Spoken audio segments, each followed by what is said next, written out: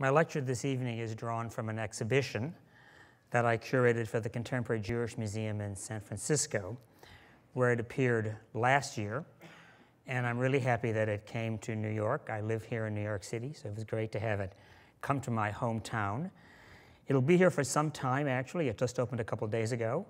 And then next year it goes to the Jewish Museum in Philadelphia.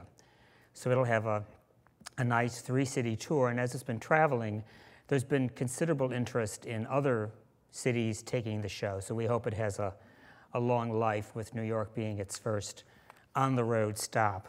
Um, the, the show and its accompanying book uh, highlights the role of Jewish architects and designers in the creation of a distinctly modern American domestic landscape in the middle decades of the 20th century. And one of the goals of the show, and people have asked why we picked certain designers and why we picked certain objects was I wanted to show the impact of these designers on every aspect of the home, the full range of the domestic environment, from the large-scale subdivision in some cases to the single-family house, to the furnishings and the housewares within the house, to the logos on the packaging in our homes, and also, and this is equally important because of the propagandistic nature of modern design in those years, and I'll talk about this in a moment, the importance of the marketing and the press images, the creation of those exhibitions and photographs and books and brochures that broadcast this new modern home design across America. So it's not just what's in the home, but how it kind of reached the general public, the general consumer. Um, all of the architects and designers I'm going to be discussing operated with a, a network or a, a, kind of a very interesting web of institutions. There were cultural, social, and educational institutions that in those years of the middle years of the 20th century fostered the inclusion of Jewish architects and designers in avant-garde circles. From the 30s through the 60s, the arena of modern architecture and design in particular offered an unprecedented flourishing of opportunities for Jewish architects and designers. And this is a major part of the story of the exhibition, how these institutions embraced Jewish architects and designers and made them part of the mainstream of American design. There were progressive schools with curricula devoted to art, design, and architecture. There were small artist colonies. There were museums, both big and small. And there were magazines that were architecturally and artistically adventurous and interested in the modern style. They all welcomed Jews as they valued talent, commitment, and an understanding and practice of modernism above religious or national affiliation. So there was a kind of egalitarianism and a broadly based embrace of peoples of different kinds in these avant garde institutions. For most modern designers and their patrons connected with these progressive institutions, religion was oftentimes a non issue. In fact, by 1961, and this is featured in the, this quote is featured in the exhibition, by 1961, in other words, 15 years after the end of the Second World War, or 16 years after the end of the war, Jewish architect Percival Goodman, who was very well known at the time for the modernist synagogues he designed, many of which were in suburban areas to which Jews, like many Americans, were moving. And Goodman in 61, in the book that he wrote a major chapter on architecture for this book, he could assert that in post World War II America, the centuries old line dividing people by Jew and Gentile had been replaced by a new boundary and that was a boundary between kind of a culturally advanced group of people, an avant garde, and a rear guard group of people. So, in other words, he says the line in America, in post war America, was now a stylistic dividing line more than it was a religious dividing line. It's a very optimistic idea, which can be argued with, but this is what was very much in the air, in, certainly in the careers of people like Goodman by 1961 in America. And he quotes, uh, or he uh, his quote from this book is avant garde, Goodman notes, belongs neither to Gentile nor Jew, but is the plight of everybody who must rebel in order to breathe again, and in that number, there are a number of Jews. Now, tonight I'm going to focus on six specific organizations, and if you've seen the exhibition, you'll notice that when you come into it to your right is an animated graphic of the United States that shows the 30 some designers in the exhibition and how they relate to all of these institutions. So, those six institutions are the Black Mountain College in North Carolina, the Museum of Modern Art here in New York, the Institute of Design, a school in Chicago, Minneapolis's Walker Art Center, and then two institutions in California the Arts and Architecture magazine and a small artist colony, probably the least known of the entities I'm talking about, because it didn't last very long. It lasted about six or seven years. It's called Pond Farm, and it, it was located north of uh, San Francisco. Now, but before doing this, though, I want to characterize the designers I'm going to be talking about. The list includes both native and foreign born Jewish designers and architects. Of the American born, most were descended from families that had come to America in that great wave of immigrants of the end of the 19th, beginning of the 20th century. They oftentimes settled in New York City, with its bustling Jewish shopping districts, as seen here, alongside, I find this interesting, a Yiddish ad for a popular Uneeda, Uneeda biscuit. The Uneeda biscuit was like a ubiquitous product at this particular time. And you'll see how it's, it's an advertisement in Yiddish that actually is for this national biscuit company, this popular biscuit company. Many of these people sought to leave behind the violent anti Semitism of the old world and were eager to embrace the contemporary manners of the new world. Now, especially here in New York, what were those manners? They were the modernizing forces of commerce, of advertising, and of consumer culture, but also a widespread acceptance of an American culture of abundant material goods that was far different in its abundance from the very different from the Jewish experience in old Europe. There's a great book that I used very much in, in organizing the exhibition and writing my own essay for the catalog by an historian named Andrew Heinze. And the book is called Adapting to Abundance. And in the book, he writes If the American people has been characterized by a peculiar faith in the principle of a rising standard of living, then the adaptation of immigrants to the perspective of abundance must be considered an essential part of Americanization. As consumers, he continues, Jews sought important elements of American identity more quickly and more thoroughly than other groups of newcomers. One of the arguments Heinze makes is because Jews who came here had no desire to go back to the old country and wanted to move forward and to Americanize quickly. He writes that as entrepreneurs in consumer oriented trades, they more than others enrich the potent environment of urban consumption, which has become such a distinctive feature of American society. Now, here we see three designers whose parents come from this generation.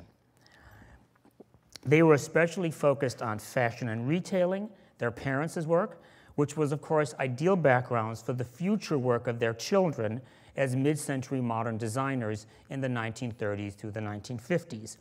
On the left is Paul Rand. Rand went on to an influential career. He's born in 1914 he went on to an influential career in graphic design and advertising. He is best known as the designer who did the logo for IBM and for ABC and for UPS and for Westinghouse. But he started in advertising in the 1940s. And interestingly, he received his earliest training drawing the advertisements, the packaging, in his parents' Brooklyn grocery store. In fact, Rand, excuse me, In fact, Rand might have drawn that Uneeda biscuit package that I just showed. So he talks about this at the age of three, being attracted to the packaging and drawing it, trying to understand exactly how the graphic design of the packaging worked, and he goes on to become a well known graphic designer. In the middle is Ben Seibel, whose boldly colored and patterned dinnerware added flair to the post war table.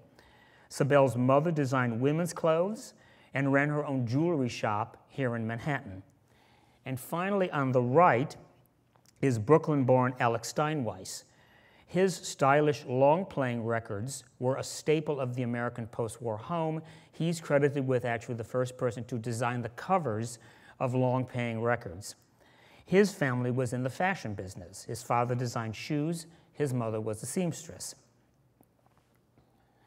Now, to this burgeoning homegrown modernist talent came another wave of architects and designers during the 1930s, Jews who fled Nazi Germany and fascist Italy.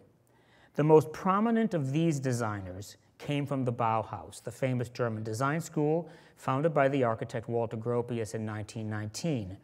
Now, the Bauhaus, under Gropius's guidance, sought to elevate the applied arts to the level of the fine arts and to integrate all the visual arts into a unified whole. So there's a desire on the part of the Bauhaus to bring good design to the masses and to take from the fine arts of painting and sculpture and to adapt those to the commercial arts. This is something which someone like Rand does in his advertising, Seibel does in the sort of biomorphic shapes of his dinnerware, but the Bauhaus was a major source of this inspiration. Now, the Bauhaus attracted the attention of American critics as early as the 1920s. So it's formed in the 1919. By the 20s, the idea of the Bauhaus, this egalitarian, optimistic notion of design for industry, is talked about in America. It's being discussed. People are visiting it. There are small exhibitions about the Bauhaus in America. But of course, it's the National Socialist Party's closing of the Bauhaus in 1933 because they claimed it promoted a Bolshevik agenda in art and culture that forced many of its leaders to move to the United States, to emigrate here. And the United States is a great beneficiary of many people who studied at the Bauhaus, who taught at the Bauhaus, and who actually were influenced by it in Europe. Germany's leaders, after they closed the Bauhaus, would soon pass prescriptions against everything the international, the modern, and the Jewish, spurring the exodus of many of these leading lights. Now, Josef Albers and his wife Anni, who we see here on the screen, who was of Jewish heritage, was the, they were the first Bauhauslers to come to America in 1933. And they took up faculty positions at Black Mountain College, which I just mentioned. It was a brand new arts college formed on the basis of the Bauhaus. The idea being that you would create fabrics that looked to modern painting that could be brought into the modern home. It also was a school that worked on the workshop model, another idea of the Bauhaus. In the Bauhaus, you didn't go to class, you had a foundation course, and then you worked in weaving, woodworking, ceramics. You worked actually in a workshop system, and the Black Mountain College adapted this idea. Black Mountain College didn't last very long. In its short 24 year history, from 1933 to 57, however, it fostered an incredible artistic community that proved to be a major source in shaping American modernism. It was after the war that people like John Cage and Robert Rauschenberg were actually at, the, the uh, at Black Mountain College. This was the early days when Anni Albers and Josef Albers were there. Josef Albers led the painting workshop at Black Mountain College, and Anni Albers led its textile workshop. And from her days at Black Mountain, she ranged across a wide spectrum. She would do traditional objects that are used in the home, such as weavings for upholstery, textiles for drapery fabrics, but she also began to develop one of a kind objects that she almost saw as kind of textile paintings. So she saw these as works of art that were woven. Uh, other Bauhauslers followed the Albers to America. Among them, we see on the left was the architect, well, we don't see on the left, was the architect Ludwig Mies van der Rohe, who was director of the Bauhaus from 30 to 1933 when the Nazis closed it. Gropius himself, as well as other designers of Jewish heritage, such as Laszlo Moholy-Nagy, seen here on the left. They all spread the influence of the Bauhaus across America transforming it to suit American capitalist conditions and circumstances as they took up influential positions not only in academia, but also in various corporations. Far-sighted Chicagoans, for example, eager to vie with the kind of avant-garde credentials of New York in the 1930s, hired Mies in 1938 to head the architecture department at IIT, and they also hired Laszlo Moholy-Nagy to head what was called the New Bauhaus in 1937. Both men adapted Bauhaus teaching methods and the workshop system in the, in the schools in Chicago. Moholy-Nagy, like Josef Albers, had taught a master class at the Bauhaus. He had taught that preliminary design course. But he also brought the workshop system to Chicago. It was called the New Bauhaus in 37, and it is today's Institute of Design, located on the campus of the Illinois Institute of Technology. Jewish designers were key figures among his faculty. Marli Ehrman, who, like Moholy, fled Nazi Germany, became the director of the Institute's weaving workshop. So she was like Anni Albers, but in Chicago. She designed textiles for mass production and collaborated with architects like Mies and with Charles and Ray Eames and Eero Saarinen. In fact, in the early 40s at Cranbrook, the famous design school in Detroit, uh, Eames and Saarinen designed molded plywood furniture that was upholstered in Marli Ehrman fabrics. Ehrman actually, in addition to working at the workshop at the Institute of Design, went on to open her own store in 1956 in Oak Park, Illinois, a suburb of Chicago, called the Elm Shop. It featured her own hand-woven textiles, which were often designed like this beautiful placemat done in very elegant geometric patterns. And you can see almost a kind of Mondrian-like quality being brought to something totally ordinary, the placemat that you'd put on your table. Another faculty member at the Institute of Design was Eugene Deutsch.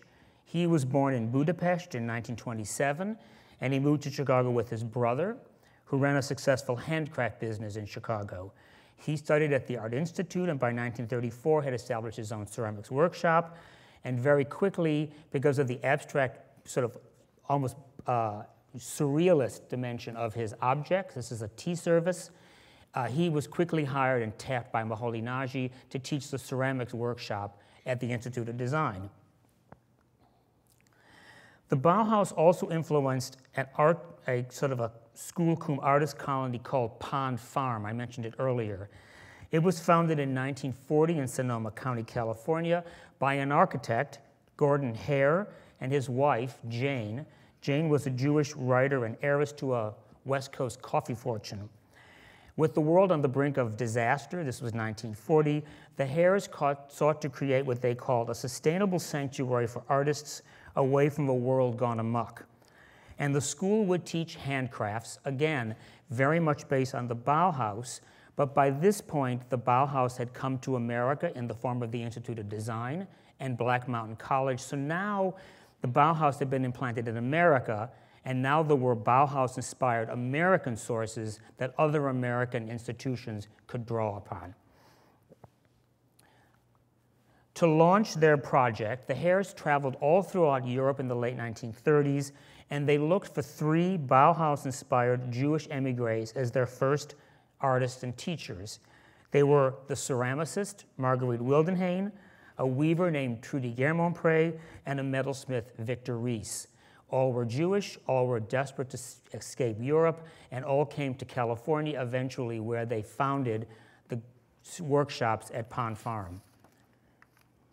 Now, Pond Farm's existence was very brief. Uh, the Herrs founded it in the early 40s. It didn't officially open until 1949, and it only lasted until 1952. Uh, it's been said that it was the victim of internal conflicts. Each of the three designers, the craftspeople, were highly individualistic, and they simply didn't get along.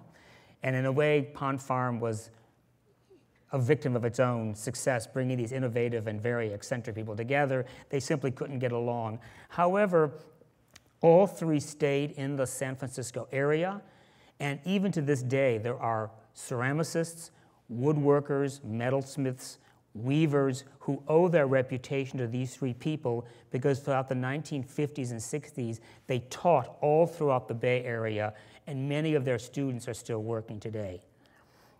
The faculty also established themselves as artists in their own right. Marguerite Wildenhain, seen here, entered the Bauhaus after World War I, where she remained for seven years. From 27 to 50, 1933, she taught at the Municipal School of Arts and Crafts in Germany, and she worked for another factory, a, porcelain factory in Berlin. In 33, as the Nazis gained power, Wildenhain left Germany and eventually immigrated to the United States in 1940, where she was tapped by the Herrs. Another designer was Trudy Guermonprez. She was a commercial art, art, textile and rug designer, as well as, as I mentioned earlier, a very prominent design teacher. Interestingly, Guermonprez's parents had come to the United States in the 1930s, and they became teacher at Black Mountain College. So you're starting to see here that this network is not just one-to-one people involved in it, but actually sometimes a person is involved in two or three of these institutions at the same time. It becomes a kind of self-reinforcing global network that's working in the United States.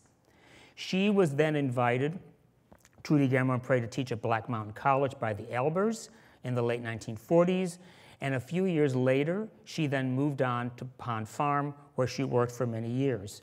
This is a beautiful textile she designed. Like Anni Albers, she did commercial products, but she also did wall hangings that were sculptures of and in themselves.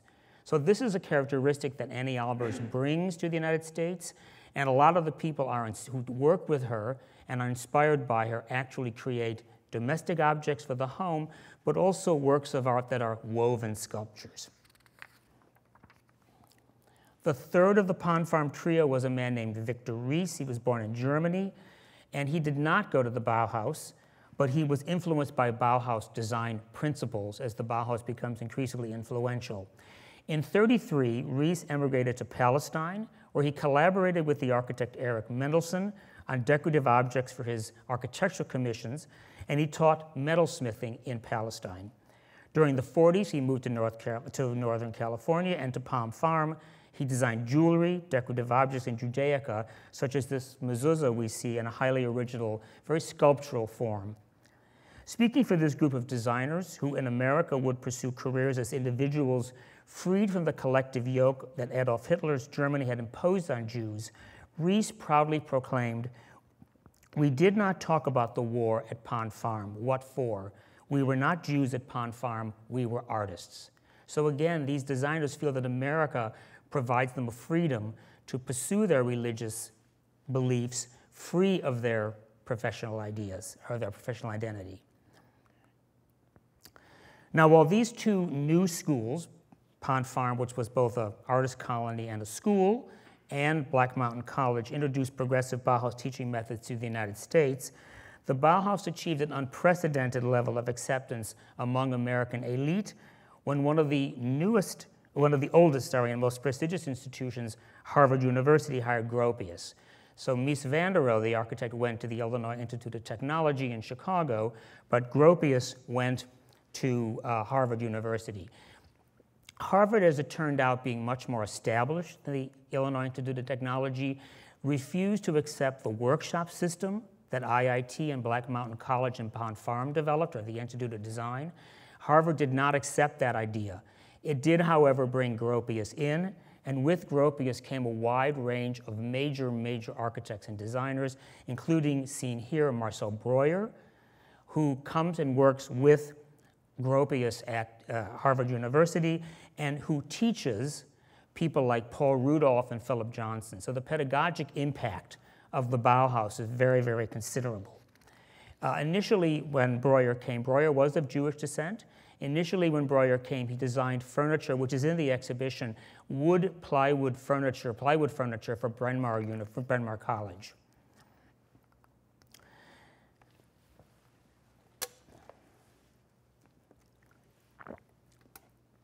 But no institution had the kind of cultural prestige and the financial backing and the kind of Manhattan media-centric quality as the Museum of Modern Art. MoMA was founded in 1929 and early on knew about the Bauhaus. It did more than mm, any other institution to strengthen the Bauhaus influence in America and to increase the role of Jewish architects and designers in modernism in America. MoMA did this through a wide range of projects. They did it through programs of exhibitions and books that featured the work of Bauhaus people. It was considered by the museum Bauhaus itself is the epicenter of modernism in art, architecture, and design. The Bauhaus projects and people were featured in exhibitions throughout the 1930s, but in 1938, MoMA decided to mount a show devoted to the school. It was called Bauhaus 1919-1928. We see the cover of the book here. It featured the work of more than 100 artists, architects, and designers associated with the school. The show explored all aspects of the Bauhaus with a strong emphasis on products for the home including furniture, textiles, and ceramics. MoMA's promotion of the Bauhaus was not without controversy. And there are very interesting letters in the archive of the Museum of Modern Art that I was able to find in doing the research for this show. Shortly after the exhibition opened in 1938, the museum's founding director, Alfred H. Barr Jr., wrote a letter to, to Gropius. Gropius, who had founded the Bauhaus, was actually supervising the exhibition and the book for the Museum of Modern Art from Cambridge, where he was, of course, teaching at Harvard.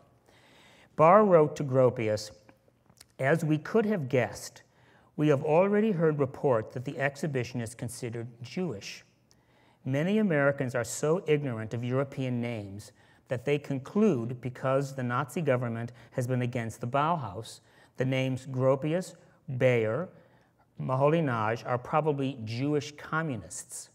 This was a very dark anti Semitic moment in American history when there was a feeling that Jews were communists and that they were going to get us involved in the war. And this was an ugly, ugly moment in American life. And that's what I think uh, Barr is referring to by this term Jewish communists. Seeking to characterize the Nazi response to modernism as purely aesthetic, and this was MoMA's goal to rip it away from its political or any kind of other kinds of context to make it aesthetic. Barr, in his letter to Gropius, actually proposed placing an exhibition plaque in the exhibition stating, quote, architecturally, the Bauhaus under Gropius and Mies van der Rohe was deliberately non-political in character.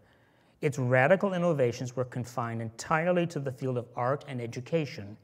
It should be stated that although the Bauhaus welcomed Jewish students, there were no Jews on its faculties.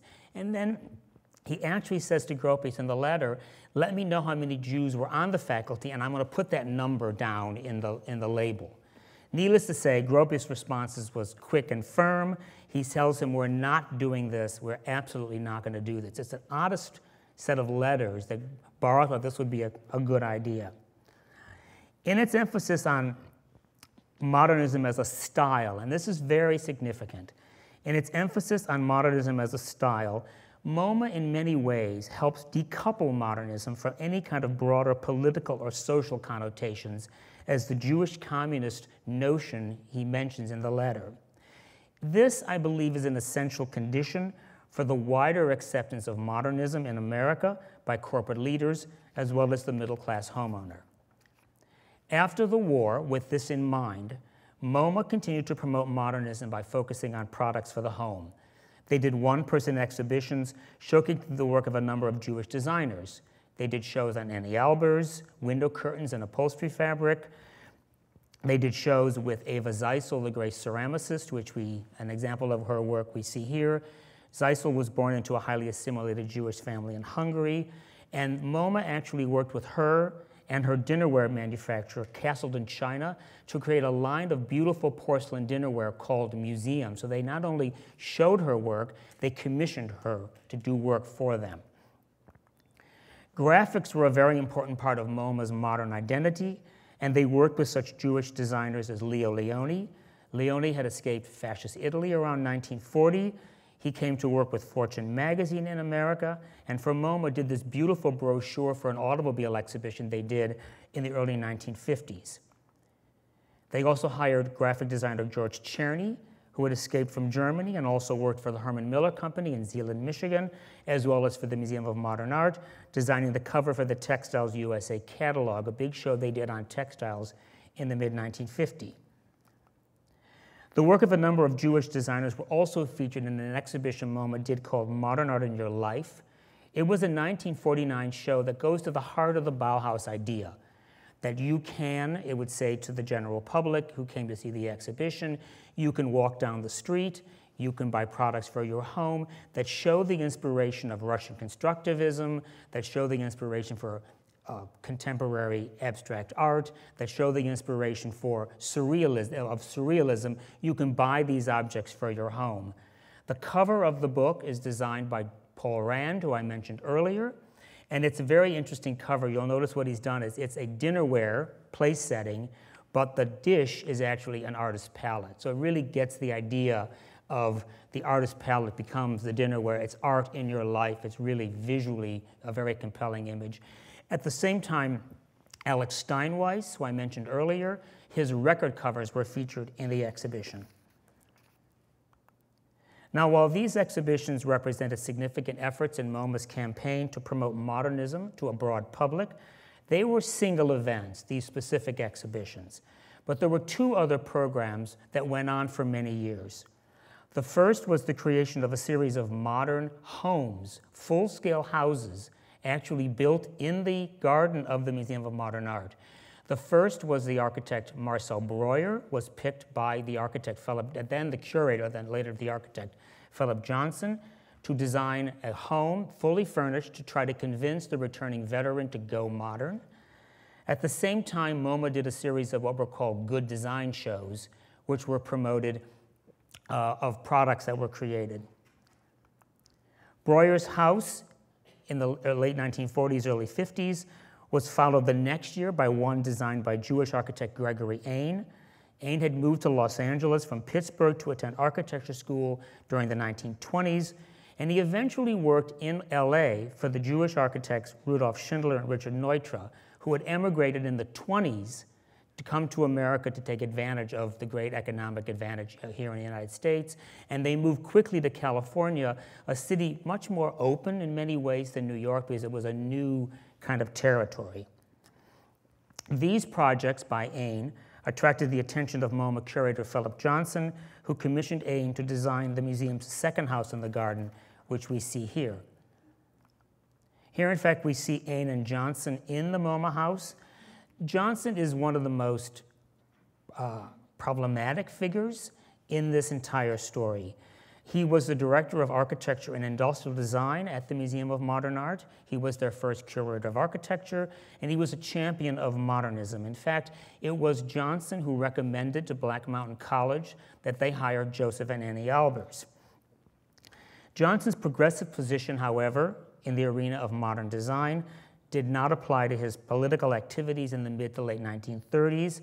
He leaves the Museum of Modern Art in the 1930s to pursue a political career, and he becomes very closely allied with an anti Semitic Catholic priest named Father Coughlin, who was a vile radio commentator who actually, it's through Coughlin that you get these commun- Jewish communist cabal ideas. And Johnson actually works with him. How Johnson could promote the work of Jewish designers, befriend Jewish people, and yet be so politically anti Semitic is one of the most severe examples of cognitive dissonance I've ever heard. Interestingly, a designer like George Nelson, uh, who's an American born designer, shows the kind of more positive dimension of being Jewish in America in the post war period and having Jewishness be your religion, but not necessarily your professional identity. Nelson was an editor, author of a popular book called Tomorrow's House, and a teacher. He was embraced by progressive cultural institutions as well as blue chip corporations like Herman Miller Furniture Company. He started his own design firm in 1947 while working as Herman Miller's design director. And Nelson and his firm designed sofas, benches, storage units, lamps, and clocks. More than any other designer, he was ubiquitous across the modernist design uh, field. He worked with many, many designers of Jewish descent. Irving Harper, who is known to have designed the so called marshmallow sofa. George Tscherny worked for him. Ernest Farmer worked for him, another furniture designer. Now, both Nelson and Johnson were involved in another MoMA project, the Good Design Program. The Good Design Program was the brainchild of Edgar Kaufmann Jr. Kaufmann Jr.'s father was the head of Kaufmann Department Store in Pittsburgh, and he is the man who commissioned Frank Lloyd Wright to build Fallingwater, and he's also the man who commissioned Richard Neutra to design the Kaufmann Desert House in Palm Springs, California. Kaufmann came up with the idea of holding a series of exhibitions where every product which MoMA thought was a good design would have one of these small little square labels. The shows were very commercially driven. They were very propagandistic. They opened in the Merchandise Mart in Chicago and then came to the Museum of Modern Art, or vice versa. So they were shown both in a commercial entity, the Mart in Chicago, and then at MoMA. And this is something which Kaufmann certainly got from his father's background in very stylish retailing.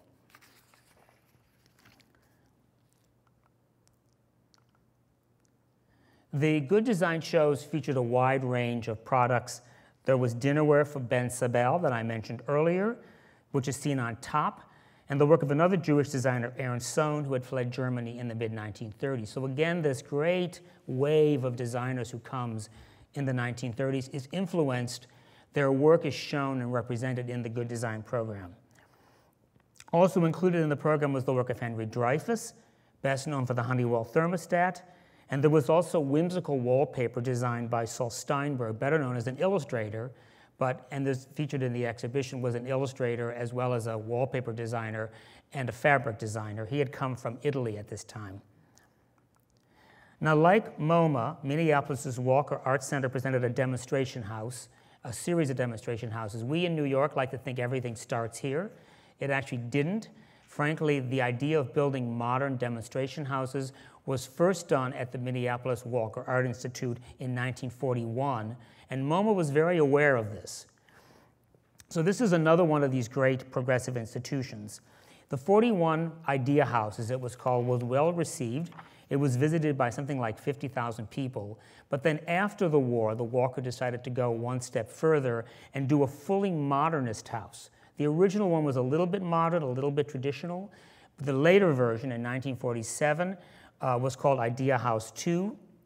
It includes lots of modernist products by people like George Nelson. There is tableware by Eva Zeisel, but it was developed by a different group of people. The original director was still there, but there was a new group of people, two people in particular, who had just moved to Minneapolis from New York. One is a woman named Hilda Reese and an architect named William Friedman. They had met in New York in the 1930s while teaching at the Design Laboratory. The Design Laboratory was a WPA sponsored project like Black Mountain College that was very Bauhaus inspired in its curriculum. Reese, Hilda Reese had a very interesting connection directed to the Bauhaus. She had studied with Mies van der Rohe, graduated in around 1932, and then immigrated to New York, and then soon moves on to Minneapolis. Reese, like Edgar Kaufmann Jr., also edited a magazine and did a series of exhibitions. She had a magazine called the Everyday Art Quarterly, a guide to well designed products, which was available by subscription for about 15 cents, which was today about $2. Under Reese's Everyday Art Gallery and her quarterly, you had the work of various designers we've already seen now being shown in the Midwest. You had people like Marguerite Wildenhain featured at the Walker. There were articles by Edgar Kaufmann Jr., there were profiles of Moholy-Nagy and his Institute of Design in Chicago.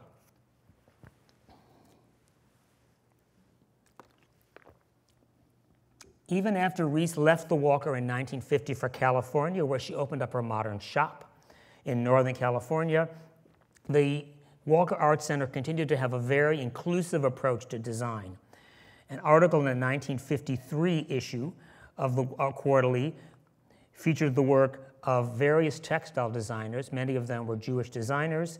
There was Marli Ehrman from Chicago, who we've already met, fellow Chicagoan uh, Ben Rose. And seen here, Ruth Adler Schnee. Uh, Ruth Adler Schnee is still alive. She is working with Knoll International. She came to the opening of the exhibition. She emigrated from Germany in 1938, and uh, she told us at the opening that a, a year ago she was asked by Knoll of the famous furniture company to do textiles for them. They wanted her to sign a 20 year contract. And she said, Do you know I'm 92? And they said, Yes, but let's see what happens. So she also came to the opening with this most spectacular crocheted dress. It was really a remarkable garment. Uh, this approach, in many ways, this inclusive approach aligned the Walker with progressive cultural and social trends that included the assimilation of Jews into the American mainstream. In turn, assimilation was a symptom of broader cultural shifts affecting the United States. In the aftermath of World War II, the hub of world Jewry shifted from Europe to America. President Harry Truman acknowledged the state of Israel, and anti Semitism was more broadly and publicly decried in metropolitan centers. There were, anti, there were movies about anti Semitism, and it's being more and more talked about as America tries to move away from its uglier history of the 1930s and early 40s. Two Reformed Jewish leaders actually go so far as to say that in post war America, Jews were, quote, this is a great quote because it's classic sort of 1940s rhetoric Jews were jet propelled from the periphery of American life, an immigrant, low income, embattled defensive group, to a rising middle class status in a community of highly educated, mobile, culturally advanced, predominantly native born Americans. Now, why these post war American Jewish architects and designers should embrace modernism was widely discussed by practitioners and critics and religious leaders in post World War II America. In the sphere of religious architecture and decoration, for example, influential members of the Reform Judaism movement succeeded in encouraging Jewish congregations to hire modern architects such as Eric Mendelsohn for new synagogues, as seen here on the left. Mendelsohn was in fact quoted at the time as saying that adopting modern architecture made Jews, quote, full participants in this momentous period of American history. So this is the beginning of that post-war period that ends in many ways, culminates with that Percival Goodman quote that I started off talking about. Also, a few years later, in 1956, New York's Jewish Museum established a workshop to create Jewish ceremonial objects in a modern style, primarily for the home. The feeling was if there are people, if people are living in modern homes with modern furnishings, they should have modern Judaic objects. This was a, a, workshop that they created for many years. It was initially uh, under the direction of a man named Ludwig Wolpert, whose beautiful candelabra we see above, and then he was succeeded by his disciple Moshe Zabari. Now, this is the last of our six entities, our last of the six organizations. While the Walker and MoMA developed full scale temporary demonstration houses, the avant garde magazine Arts and Architecture in Los Angeles went one step further. They actually commissioned the construction of approximately 36 new full scale houses people would live in. The idea was that you would become a case study house program, as the project was called. You would become a case study house if you agreed to sort of have your house be judged as being worthy of considered modern, but also if you let the general public pass through it on certain weekends so that it could be used as a demonstration house and as a kind of promotional tool. The program was under the auspices of a man named John Entenza. He had purchased a magazine called California Arts and Architecture in 1938, and in the early 1940s, he took off the name California to give it a more international flair. Here we see him with the American designers Charles and Ray Eames. Arts and Architecture launched its so called Case Study House program in 1945 with the purpose of promoting modern domestic architecture to American homeowners. They built these prototypical homes. Examples of that kind of home would be the work of Richard Neutra. This is the Kaufmann Desert House on the left, and a house by Radolf uh, uh, Soriano, uh, sorry, Soriano, a Greek-born uh, Sephardic Jew who emigrated to the United States in 1924 and who apprenticed with Richard Neutra in Los Angeles. Now, while the Case Study House program primarily focused on single-family homes, it also experimented with large-scale residential developments. This is an example given by Case Study House number 24, which was created in 1961 and was never built. It would have been a 260 home suburban tract with a community owned park and a recreational center. It was being developed by the Jewish marketer and developer Joseph Eichler, a Northern California developer who also built in Southern California. Eichler bucked tradition and societal norms in many ways. His houses were not in the sort of reigning colonial revival style, but had open plans and glass walls, as you see here. He even uh, uh, developed a kind of prototypical kitchen for a new house of the future.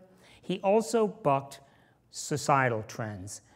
And in many ways, he was very against anti Semitic ideas that were reigning still in America at the time. He purposely quit from the Home Builders Association in the mid 1950s because they did not support his ideas of having non restrictive housing policies. They still had restrictive housing policies. He was against that and he actually quit. He's one of the few people who actually puts his money where his mouth is and actually supports social advanced ideas and not just aesthetic advanced ideas. In addition to sponsoring modernist residential architecture, arts and architecture, like the Good Design Program and like Hilda Reese's project, also featured in its pages the latest developments in modern home furnishings. In its pages, you could learn about the work of Gertrude and Otto Natzler, who were talented Jewish emigres who created ceramics together throughout a 30 some year career. To sell the idea of modern home design to the public, Arts and architecture also employed talented photographers and graphic designers, many of whom were Jewish. These designers included Alvin Lustig, who we see here, who reformatted the magazine, redesigned its masthead, and created its new logo and its, true, truly abstract, its first truly abstract cover for the February 1942 issue. Here we see Alvin Lustig with his wife, Elaine Lustig Cohen, who was actually at the opening and happily had herself photographed with her daughter in front of this image in the exhibition. Saul Bass was another Jewish designer of arts and architecture, designing this 1948 cover, and of course, he goes on to become the father of title credits in America. Finally, in the hands of artists like Julius Shulman, photography became an important vehicle for bringing case study houses and California modernism to the national public. Shulman, seen here on the left, and in this photograph, he's with the great architect Richard Neutra. He was born in Brooklyn, and he moves with his family first to Connecticut, then to Los Angeles, where he spends his adolescence, and falls in love with modern design in the 1930s. He falls in love with it at that time. He actually procures fellow Jewish architects' commissions throughout the Los Angeles area and then becomes a well known photographer. He becomes, in many ways, the official photographer for California Arts and Architecture magazine. Shulman's 1960 photograph of the uh, Pierre Koenig's case study house number two, a kind of steel and glass box that's dramatically cantilevered from the Hollywood Hills, is completed in 62, and it remains without a doubt the era's most technocratic and optimistic expression of living in a modern manner. By the middle decades of the 20th century, Jews like Shulman, born in America within families of immigrants, many of whom had entered through Ellis Island, had themselves passed through what were, in effect, aesthetic Ellis Islands. Art and Architecture magazine, the Museum of Modern Art, the Walker Art Center, and the lesser known Pond Farm and Black Mountain College and the Institute of Design all served as these kinds of portals these kinds of aesthetic Ellis Islands. Through them, Jewish architects and designers, both American and foreign born, entered the mainstream of American architecture and design, and in turn, entered the mainstream of American life itself. Thank you. So I think we have um, time for about. There should be time for questions. About two. two questions. About two, two or three. Two, three. All right. Yeah. Anybody have any questions?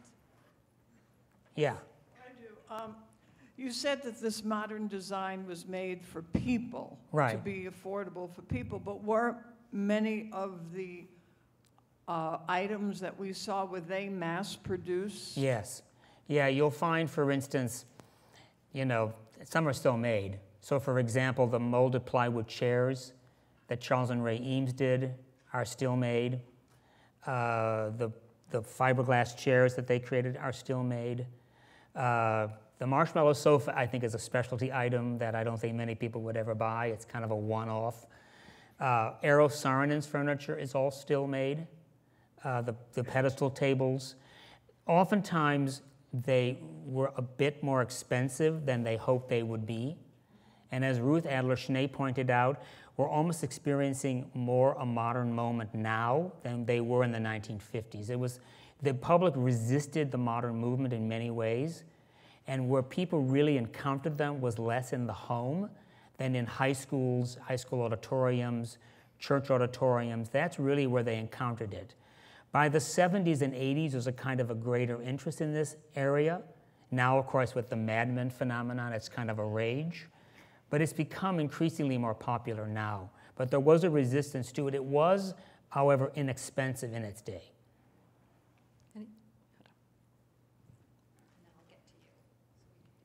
In addition to the many Jews who, of course, you're talking about here, were there a lot of non Jews who also were extremely important in promulgating modernism? Yes, of course. Yeah, definitely, without a doubt. Yeah, it, I'm not arguing that it's a Jewish phenomenon alone, but what's interesting is it's the embrace of many Jewish designers and the proportion of Jewish designers within the movement that is interesting. Jews made up something like 3% of the population at the time, and yet if you, it's obviously anecdotal, you can't really quantify it, but the impact is very, very large. And I think one of the reasons is because in, when they came to America, they wanted to get away from historical architecture and history. They wanted to move into the American mainstream. And certainly because of the war and because of the Nazi regime and the fascist regime, as Jews come here to escape Europe, they bring these modernist ideas with them from the Bauhaus. So there's a kind of a, there's a social and a cultural dimension more than there is a religious dimension. And there is a desire after the war, as I said, to kind of make America more of a, the American ideal of a level playing field. We're very far from it, but there's an ideal, especially after the war. Okay, was there, you had another question? Uh, you kn- So I get the sense that the dominant figures of the modernist movement in the, in mid-century were Jewish, or? Many were, Many yes, many, many And were. Who would you say their heirs are today? I mean, are they, you know, much more of m- mixed? um, I think ever since, or- well, I think what happens is ever since the Second World War, Jewish architects and designers are just part of the mainstream. Frank Gehry is Jewish, Richard Meier, Robert Stern. I think we don't see them anymore. We don't see this as an unusual phenomenon anymore. They're part of the mainstream, and that becoming part of the mainstream occurs in this pivotal sort of the run up of the 1930s, and then in the post war period, they enter that mainstream and are now part of it. So we don't, they become invisible in many ways. Not invisible, but their Jewishness has become unimportant in many ways. And, and purposely, um, you know, like assimilated, or, um, you know, as part of this uh, need to embrace modernism, or? I think it's some, it depends on the individual. I mean, George Nelson was Jewish, but never, I talked to people who worked with him for many years, and they never really talked about it. Because again, they were in a, a more elite, progressive circle where the difference between nationalities and religious groups was less significant. They were social, they were artistically progressive, and they were ideally socially progressive. Thank you very much. Yeah. Okay, thank you.